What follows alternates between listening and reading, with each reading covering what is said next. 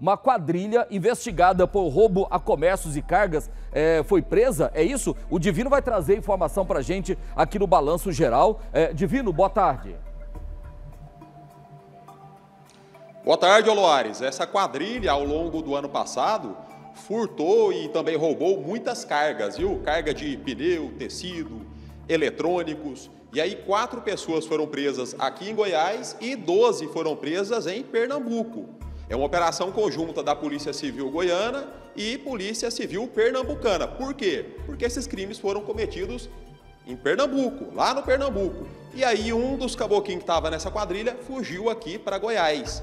E aí os mandados foram expedidos contra ele, contra parentes e também comparsas. Vamos conversar com o delegado Danilo Martins, da Delegacia de Repressão a Furtos e Roubos de Veículos Automotores, que vai trazer mais detalhes para a gente. Doutor, muito boa tarde. Quem são esses presos aqui em Goiás? Tem mais quatro que ainda estão foragidos. Isso, foram presos hoje quatro pessoas envolvidas nessa organização criminosa especializada em roubo e furto de mercadorias e cargas em geral.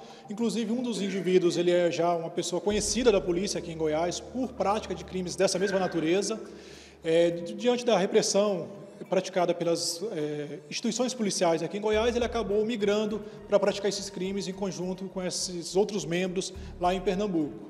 Mas a investigação iniciada em Pernambuco identificou esse grupo aqui de, de Goiás, é, esse indivíduo, comparsas e familiares que estavam participando e atuando na lavagem de dinheiro relacionado ao lucro que eles obtinham com esses crimes.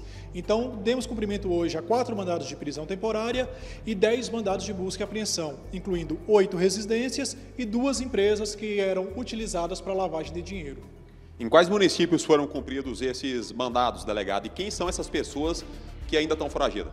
Essas medidas elas foram cumpridas em Goiânia, Aparecida, também em Anápolis e em Uruaçu, sendo que em Uruaçu, inclusive, apreendemos um caminhão que era utilizado pela organização criminosa no transporte dessas mercadorias. Como que essa quadrilha atuou durante esse tempo lá é, em Pernambuco? A quadrilha tinha divisão dali dos membros, da tarefa de cada um dos membros, eles pegavam essas mercadorias, vendiam no mercado paralelo, como é que funcionava? É um grande grupo criminoso, uma grande organização criminosa. Eles tinham os membros que participavam diretamente da subtração dos furtos e roubos de mercadorias ocorridos lá em Pernambuco, e tinha também os indivíduos que efetuavam transporte, entrega e venda dessas mercadorias em outros locais, e ainda aquelas pessoas identificadas como aquelas que atuaram na lavagem de dinheiro. Esse membro principal da quadrilha que foi preso aqui em Goiânia, as pessoas que foram presas também ali fazem parte do entorno dele, né? É ex-mulher, tem alguns outros parentes também e também comparsa. Exatamente. Além desse alvo principal, existem outras pessoas do grupo aqui de, de Goiás que são comparsas e alguns familiares, como a ex-mulher, que atuavam principalmente na parte da lavagem de dinheiro do lucro obtido com esses crimes. Durante a operação, inclusive, foi apreendido um caminhão com mercadorias. Foi apreendido um caminhão que usado para transportar essas mercadorias, que já constava da investigação e que foi localizado em poder de um dos investigados que estava na cidade de Uruaçu. E agora essas mercadorias é, vão ser devolvidas para os verdadeiros donos. Tudo que foi apreendido será identificado, é, será analisado, é, objetos que tenham sido subtraídos serão devolvidos aos proprietários, os celulares e documentos serão é, analisados em continuidade das investigações. O senhor estava falando que além do roubo, do furto né, de, de cargas, né, a carga ali em transporte, também acontecia esse furto, esse roubo na, nas lojas, né, nos estabelecimentos. Como é que funcionava também a lavagem de dinheiro paralela a, a esses crimes?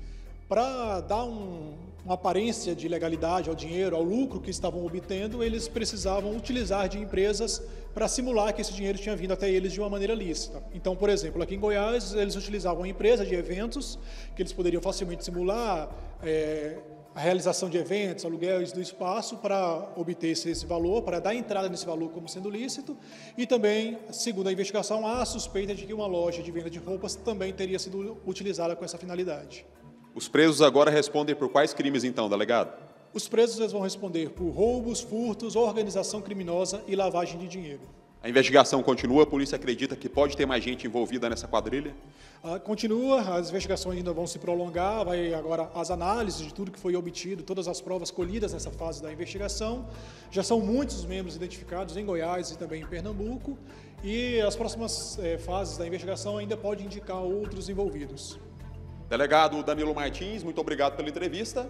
E eu volto com você aí no estúdio, Loares. É, a, o pessoal que trabalha na área de eventos, né, uma, uma categoria muito séria e tudo mais, mas precisa dar uma, uma, uma enxugada aí, porque o que está tendo de denúncia de desvio de dinheiro, lavagem de dinheiro através de eventos, não é brincadeira, né? Ou seja, tinham 500 pessoas no evento, aí tem ali uma declaração, uma forma de dizer que tinha ali 5 mil. E aí, meu amigo, que tem lavado de dinheiro, a polícia tem descoberto aí muitas histórias envolvendo é, organizadores de eventos e prática de crime crime, principalmente lavagem do dinheiro aqui no estado de Goiás. Obrigado, Divino. Parabéns à polícia aí por mais essa operação.